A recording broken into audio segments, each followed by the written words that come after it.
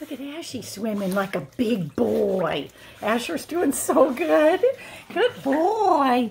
He was, when we first started doing it, he was trying to get out all the time, but look at him go. He's a little fish. Good boy, Ashy. Mama proud of you. Look at you swimming like crazy. Good boy. Al's been doing about what, like, this is maybe six, seven, eight laps now. And uh, here's the thing. He's a big fish in the river. That we always knew. He jumps right in. Good boy. To rivers or lakes.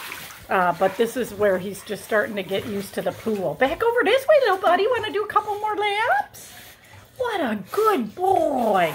Oh my goodness, you're doing awesome.